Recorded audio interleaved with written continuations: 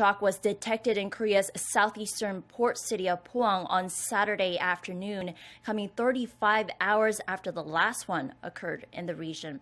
The Korea Meteorological Administration confirmed a 2.0 magnitude aftershock hit shortly before 1 p.m.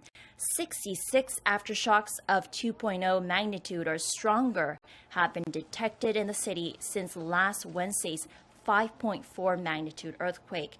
Authorities are also looking into whether hydraulic fracturing at nearby geothermal power plants could have played a role in last week's quake.